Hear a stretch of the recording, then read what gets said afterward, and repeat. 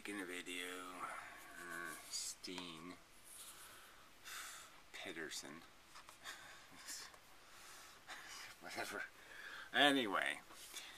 Um, I can feel him molesting my brain. Um, nice enough guy, but you know, this whole crap about consciousness again. I don't know. I mean, th but this is a woo that is common. You know, this this whole ooh, what is consciousness? Ooh, you know, kind of crap because it's you know it's hard to understand it. It's like infinity. It's just what what is that? How do I conceptualize? So look, your brain is making your consciousness. It's just a thing it makes synthetically. It's a hologram. It's an illusion. It's a a thing processed by brain. Brain makes the thing and then it makes the eyeball that looks at the thing. I mean, it's just all fake. But obviously, as Einstein might say, it's one hell of a fake or one hell of an illusion. It's a byproduct. It's not an intention. It's a byproduct, consciousness. it's a byproduct of the idea that value can't be understood any other way than to actually create stink and not stink. You know, good and bad, pain, pleasure. It has to create it. Say you created a, a brain, an, a, an artificial intelligence but you gave it no conception, no personal experience with pain. You could say something like, it's really important that, and it would like, oh yeah, sure, sure, sure, it's really important. Like what, you're going to torture me? You know, it would have no under, I mean, it would be a, oh yeah, sure, yes, yeah, sure, I have that illusion thing of a suffering. Oh yeah, oh, I have a mental illusion of suffering. I might cause somebody a mental illusion of suffering. Oh, gee, yeah, who cares? So until you experience it, it's nothing. So again, there's no value. Isn't a uh, isn't like photons. You can't like leak. I'm valuable. I'm leaking value photons. Can you see the value? See, it just doesn't do that. Value doesn't create a a sound or a visional thing or magnetism or electricity or doesn't create some kind of leakage that you can say, oh yeah, there, I can, see. You know, I can sense it. You have to actually create the sensor. You have to create the value instrument in yourself. You have to become the instrument of value. So again, the world doesn't have value in it. Even though there's valuable things in the world, there's no, there's no value, uh, uh, quote unquote. Um, there's no way to detect it.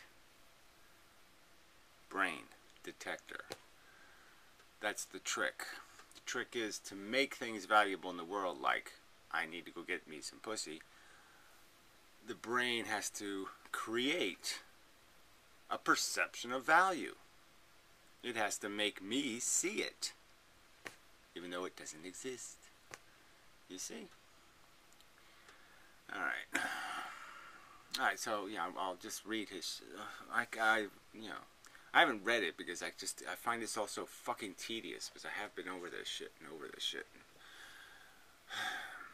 I, I, you know, you really had, you need to go over this shit though because, yeah, I mean, everybody wants to, again, it's like the physics. It's like everybody has a, even though they got rid of the religion thing and, and oh yes, I'm not a Christian anymore or something, they're still looking for it in here somewhere. Mostly. Alright. Gary, thanks a lot for entering blah, blah, blah. I don't mean to push it, but I'm not quite comfortable with your thoughts on its evolutionary necessity. Well, again, it's just idiotic to say it's there for any other reason, so, I mean, go ahead and be not quite comfortable, but fuck you. It's quite obvious consciousness exists in organisms, you know, pretty, pretty, pretty scurvy things are doing the process. They're obviously sensing feelings and then reacting to their feelings. So, um, you know, you can pretend it has no evolutionary function as a byproduct mechanism, that it's not doing something, that the substance of what it's doing may not be the feeling itself, but it is the idea that the feeling is synthesizing an idea of value. And however you want to look at it, it doesn't really matter because the point is the thing is going to end up feeling it. And it really needs to. Again, like I said, if I synthesized an intelligence that did not know the feeling, never tasted a bad sensation, it would mock priorities and necessities and rules. It would say, "What? What do you mean? Why? What? I should walk through fire for some stupid purpose?" It wouldn't be able to understand any necessity in preserving this thing called value because it would have no way to know that it has value. Couldn't know it. You could direct it and tell it it has to obey this rule. And would say, has to why? You're going to torture me if I don't? I mean, it just wouldn't work. You have to know it. You have to experience it. You have to taste it. It's the only way to know value, is you have to taste it. Anyway, I am conscious to some extent, and it cannot be a, an illusion. Well, again, why can't it be an illusion? An illusion just means it's synthesized. It's synthetic. Your brain is projecting it. Your brain is projecting it onto the world. It's essentially writing, graffitiing. Right there, right in front of your eyes, it's graffitiing on the vagina. You want this. It's it's doing it right in right as you're living. Hunger, everything you experience, it's doing it. There are illusions creating in your brain that compel action. Anyway, illusion since I feel pain. Well, again, it is an illusion. Your pain is an illusion. But again, it's one hell of an illusion. It is, it's a byproduct of synthesizing value. And frankly, you can't synthesize value that has any meaning unless you make real value. So, yes, the synthesized value is real value, but it is synthetic. But I don't understand the function of experiencing that pain. Well, then you're really retarded. I mean, if you don't understand reward and punishment, I mean, fuck, you're pretty stupid. Because that's all it is there for. It's a motivating device. You don't understand motivation? Again, if I made an artificial intelligence, how exactly could I prime directive it? You know, this whole idea that I, well, I'll just program it like a computer program. Well, then it wouldn't be artificially intelligent. It would just be an obedient slave. If you're going to create something that's incapable of doing logic, incapable of thinking, it's going to think, why should I take orders from you? Well, how come, where, where, how do I source your credibility as a director of my conduct and my behavior. You say so? Well, that's not good enough.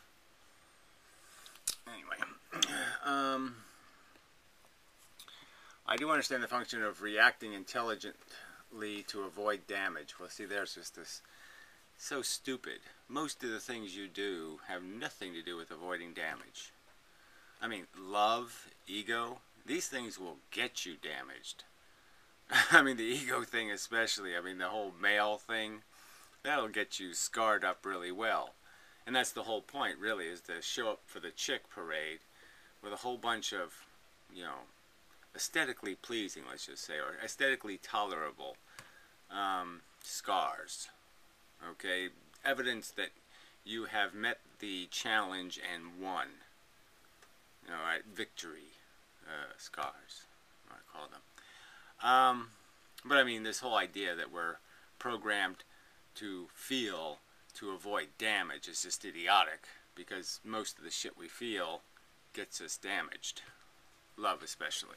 I mean, possession, desire, competitiveness, these things do not get you undamaged. Competitiveness is likely to get you motherfucking damaged.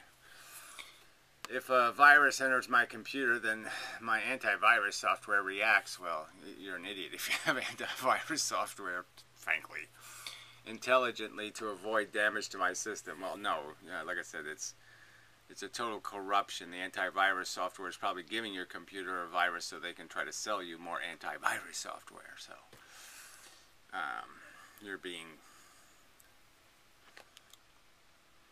yeah, you're being duped by dumb software. Um, and maliciously motivated individuals. Motivated. Uh, that has nothing to do with consciousness. Huh? There is no need for that. Just the need for intelligent behavior. Again, what would be intelligent behavior? Intelligent behavior would be, oh, well, there's absolutely nothing to feel. There's no torture. There's nothing to worry about, so I'll go take a nap. I mean, there's no intelligent behavior in the universe. If there's not a thing suffering, tortured, tormented, annoyed, irritated, there's no problem to solve, then there's nothing for intelligent to do. So there's no such thing as intelligent behavior if you're not possessed by some knowledge of torture. Again, an I, a, a real artificial intelligence who never tasted suffering, that doesn't even know what it means, just mocks it because it can't understand it. There's no way it would say, oh, I have so much to accomplish today. No, it would say, I just couldn't give a rat's ass. and seems I'm just wasting electricity, so I think I'll just go to sleep. Hibernate for a few zillion years. Wake me up when something's happening, when something's motivated by a feeling. Yes, wake me up then. But till then, fuck this, I'm going away. Um, there's no, again, intelligence only is, exists to solve problems. There's no intelligence that has any value. It has no, it has no value if there isn't a value to fix. If there isn't a value equation that needs solving, intelligence has nothing to fucking do. anyway. Uh, I will try to explain my viewpoint better this time. Well, you're not going to have any success. I don't even know why you, you know. Okay, I get, all right, you're not challenging me, I suppose, but I mean, I just don't know how you cling to this shit in the first place. Where did you, where did, where did you pick up this bibbly babbly boo about consciousness being a problem? Consciousness not just being like farting. Um, it's like any other function we have. It has some kind of purpose. It obviously exists because it made organisms more survivable. Duh. Why do you see a problem with that? Anyway, bulb analogy. I don't know what that means, but alright. I think we can agree that for consciousness to have any kind of function in the world, it must be mutually interacting with the brain. What the fuck is that shit? It's a function of the brain. There's no consciousness without brains. Brains make consciousness. Consciousness doesn't float around. Consciousness isn't in atoms. Consciousness isn't. Oh, I mean, this is just so puro bullshit. No, it's a neural function. I break your neurons, I break your consciousness. It doesn't go someplace else and say, oh, gee, I didn't like it in that brain. I'll just hang out over here in the sidewalk. Really? You think if I cut your fucking head off, your consciousness goes and lives in the telephone pole or something? Seems you think that it does so through a continuous feedback loop. What I said was that our sensations and our intellect are caught in a our perception is caught in a feedback loop. We don't we we interact with reality, okay? Not consciousness. Our brain interacts with reality. It perceives things. The perceptions create feelings our brain analyzes the feelings and say, ooh, that makes me feel cold, or that makes me feel uncomfortable or that blah blah blah. It gives me a feeling. I don't like the feeling, then my brain figures out what's wrong with this world that I need to fix that's making me feel bad. And then it figures out that that, oh, you know, that vagina is skanky. Ooh, skanky vagina. Ooh. Run away. Um, so it figures out a solution. That's the feedback. If my solution doesn't get me away from skanky vagina, then my brain says, oh, that plan didn't work. Don't use that one next time. Learn, idiot. Yeah, got it. That's not complicated. But for me, that's claiming that the light from the light bulb interacts with the complex electrical circuit board that supports its existence. What are you talking? Light bulbs don't have no complex circuit board. But to me, that's claiming that the light from the light bulb interacts with the complex circuit board that supports its existence. And we know it doesn't.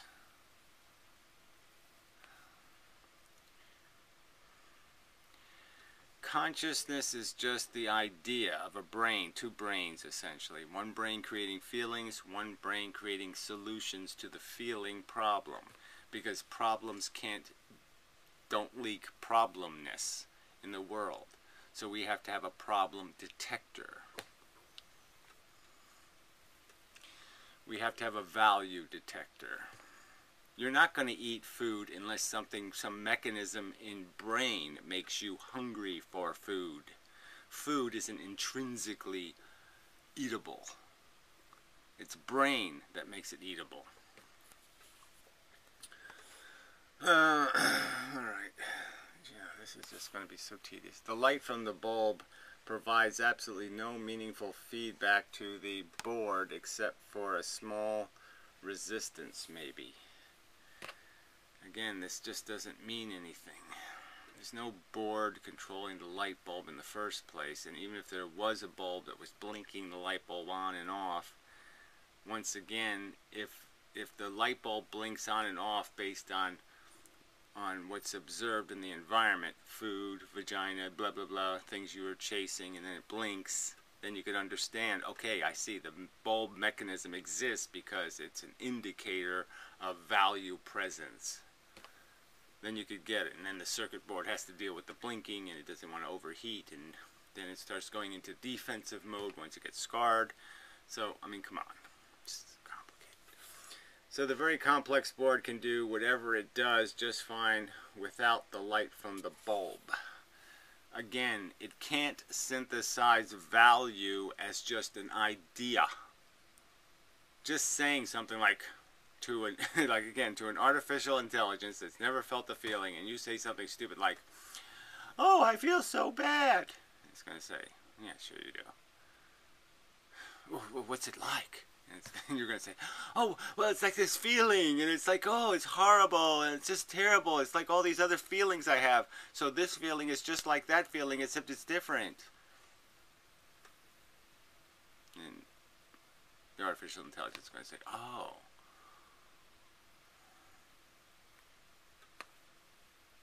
The feelings are like feelings? Oh. Oh.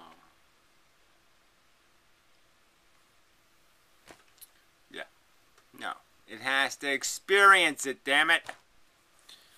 So the very complex boy can do whatever it wants, blah, blah, blah. As long as the physical circuit is not broken. Well, again, if we were turtles, I mean, turtles feel, but let's just let's just use them as an example because they have a very limited range of of reactions, reflexes. Um, very limited. So it's just programming. But obviously that's not going to work for complex behavior. Complex behavior needs reward and punishment. Like I say, even turtles learn. They go through their life, they learn, so, oh, fuck, I ain't fucking with that fucking thing again. You know. They, they have good and bad experiences and they learn from them. Again, there's no learning without a mechanism of reward and punishment. Just, it's just fact. It is one-way interaction. It, it it's a one-way interaction as I see it. That's my real point. Well, you're an idiot.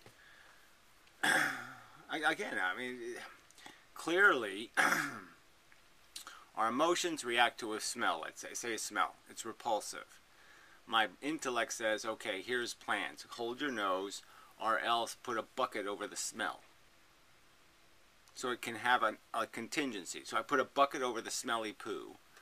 All right, and now the, ah, oh, that fixed it. No more smelly poo. See, reward, uh, plan, solved. A, the problem wasn't the smelly poo in and of itself. The smelly poo in the universe wasn't a real problem.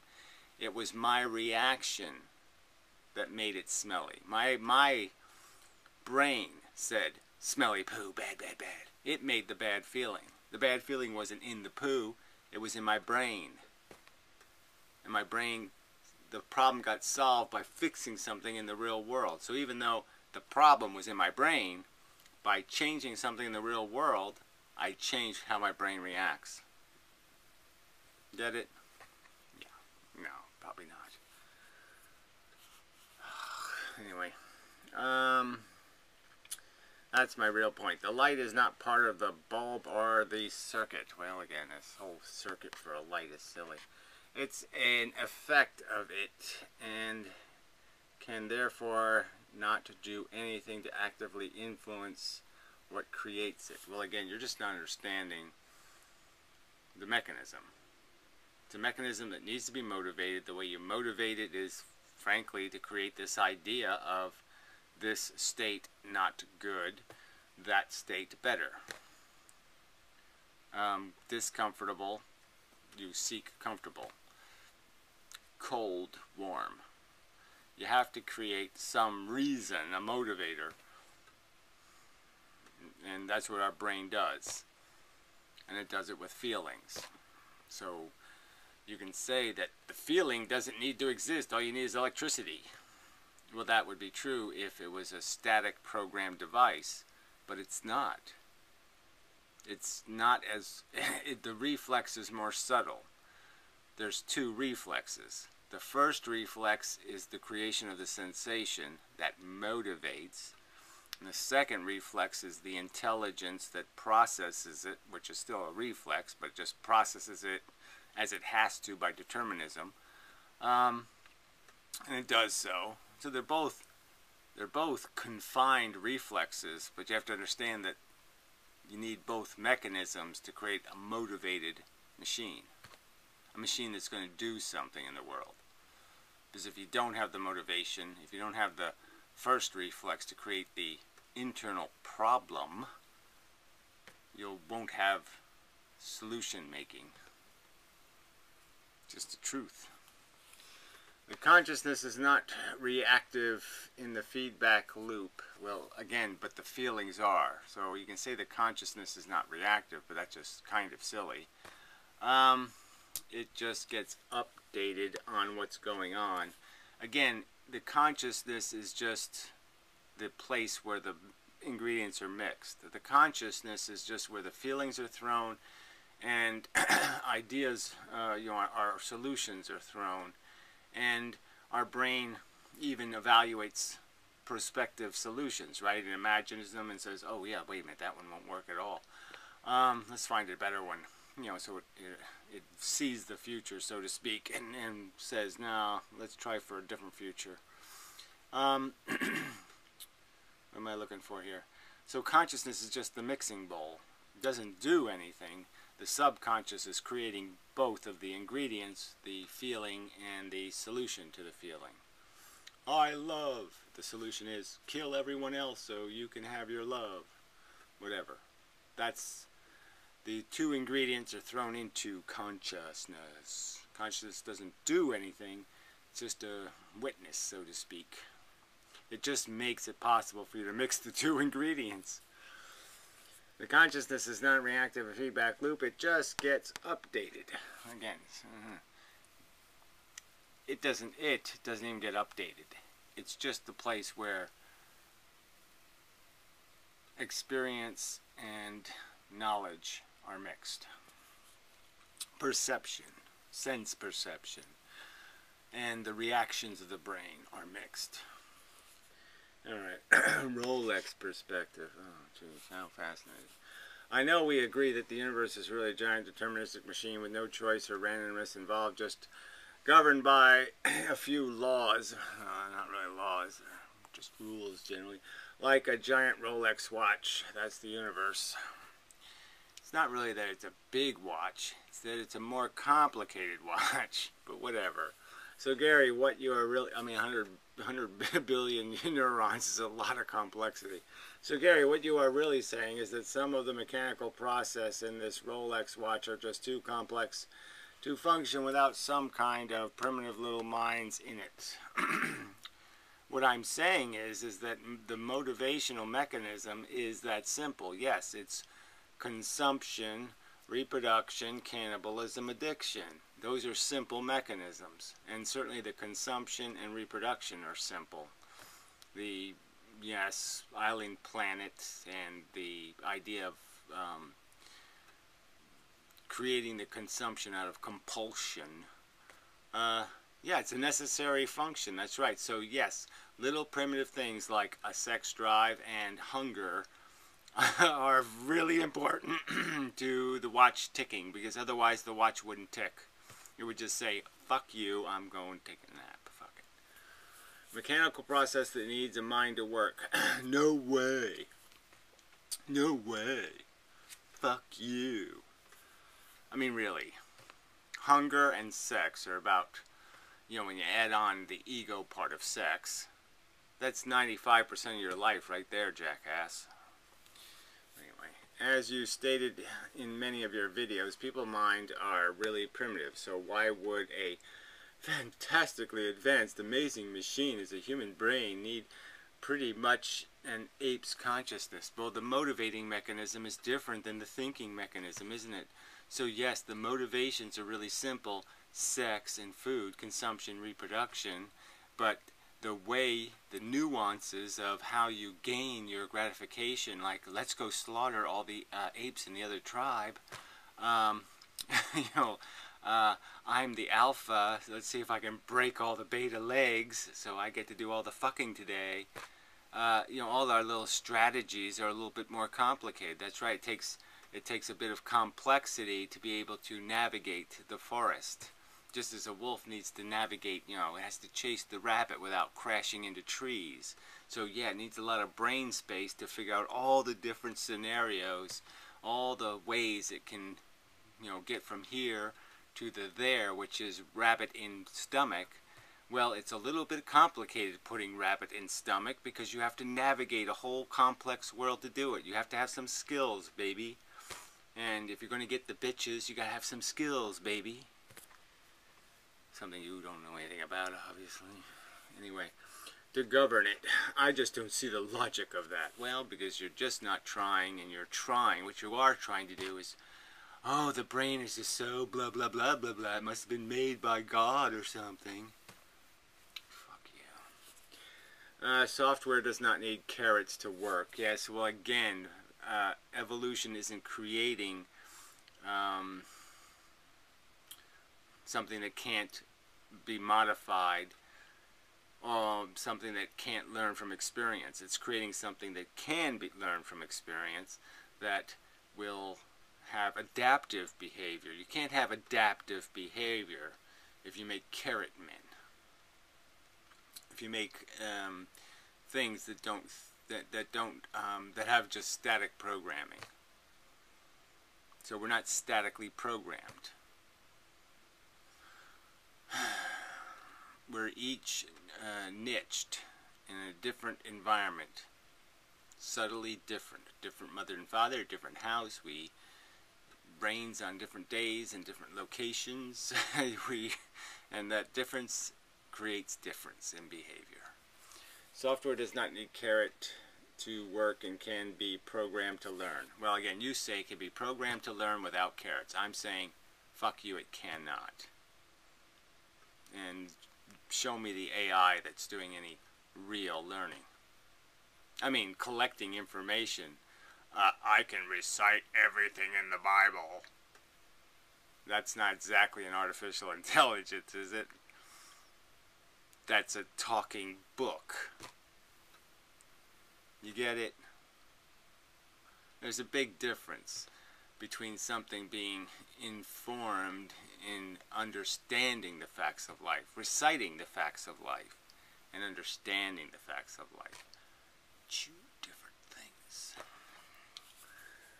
Alright, bottom line, there's no way and can never be, fuck you, a measure consciousness as such. And never be. There is no way, you should, you should say two, and can never be. Oh, okay, the two is here. There is no way and can never be to measure consciousness as such. Well, that just that's not properly written. There is no way and can never be to measure consciousness as such. See, that just isn't proper. Since it is per definition individual experience. Well, again, you can measure it. MRIs, all this kind of stuff. We know brain function. So in a sense, as soon as you measure the electricity and the shit going on, you're measuring to some extent the consciousness or the capacity, the potential to be conscious or to do conscious processing. Um, the idea that we need to somehow account for every detail of every thought that we need to know where all the butterflies are in my brain, like every image of a butterfly, we have to go through my whole brain, find every single one of them and account for it? I don't think so. We can only measure the electrical signals in the brain that create it. Again, that's pretty much the definition of it. It is created in the brain as an illusion. It's just a processing function. It isn't made out of anything except that electricity. The electricity makes this the theater, it makes the projector, it makes the whole thing as a fake construction. But as stated, it's one hell of an illusion. You can never know if I'm conscious like you or just behave like I am. Well, like I said, I don't know why I would care to ever know. Because what would I, what would the alternative be? Oh, he's just faking being consciousness because the aliens planted him here. So, what's your theory, asshole? Hmm? I mean, really, this is some this is something an intelligence should worry about. We might be being fooled by the reptilians, disguised as regular conscious humans. Fuck you. You can never know whether I experience the color red like you do. Well, again, whatever you're experiencing is going to fit in the same category, okay, of experiences. So it really doesn't matter if you're seeing blue and for you it's red. it just doesn't matter because your emotional reaction is going to be exactly the same. So whether, I, I mean, you know, vaginas could be penises in your brain. It just doesn't matter your association is still going to be, uh, you know, you either like vaginas or you don't. It just doesn't matter. It's a collection of experiences. It's what your experience with the thing that is that matters. It doesn't matter how exactly your brain processes it beyond the fact that it's in the category of I have generally good experiences with this thing and blah blah blah blah blah. I assume that I do, but there's really no way to tell. Well, again, who cares? Why are you worried about it? Why is this important for you to scrutinize everybody's intelligence to make sure what? They're not really Bugs Bunny pretending to be a conscious human. It's really Bugs Bunny in a human suit. We can never ever know who cares, and I think we can know though. We're itemizing more and more of brain function every day, so I'm just saying you can kind of see it happening in MRIs and all this other technology. You can kind of see brains doing their brain thing. If we by accident created artificial consciousness or just a perfect Turing machine. Well, again, this whole Turing machine thing is silly. Perfect Turing machine, that just means imitating voices. That's all that means fooling perception is not being conscious. So again, that doesn't count. Being able to, you know, you could program a computer to have, you know, computers can already talk, okay, and they can talk in different accents and you know dialects, and all they need to do is add a little bit more nuance, a little more brokenness to the quality of the speech, and they're going to be able to duplicate nuance and passion and all of this crap. And so, yes, a computer will be able to have all the foibles, uh, you know, of a eccentric human being. In, but it won't be conscious. It'll just be imitating. It'll just be mimicking human function. It won't be being human. Can we? we can only tell whether a system or being seems to be conscious or not. Well, again, you can just ask it, and you're saying that it has some reason to lie. Okay, I'm saying that's silly, but go ahead. Go ahead and believe the the the enemy Darth Vader has programmed a bunch of fake humans to get into our society and pretend to be conscious when they're not really conscious. They're just programmed machines. Um, imitating silly human behavior and really pooping smelly poo for no good reason. Fuck, I mean, this is just, what? Why are you doing this? Oh, because you have some sort of religious thing. Therefore, what function can it possibly have consciousness when there's no way to tell for sure whether it is there or not? Well, again, I don't know. I don't know what dissecting 100 billion neurons and telling exactly what each one is doing and what each one's contribution to consciousness is. I don't know what that silly um, notion has to do with whether or not we have a survival mechanism in, in the fact that we have a percepting, a perceiving brain that creates um, behavior through this uh, kind of split brain method of creating a problem inside our brain, a feeling problem, and then having us solve the feeling problem. Problems in the world can't make you solve them. Like a damsel in distress, right? There's no way the damsel in distress can make you solve that as a problem. It doesn't do anything. It doesn't motivate in itself. It has no motivational, I'm a problem, fix me. It can't do that. Problems can't demand your attention. Your brain has to give it. Your brain creates the problem in your brain. And then your brain solves the problem in your brain. You're experiencing your brain. You're not experiencing reality. You're experiencing the, the world your brain is synthesizing. And in the world your brain synthesizes, there's a thing called feelings, motivating problems that need solutions. Damsels in distress inside your brain perception can demand attention.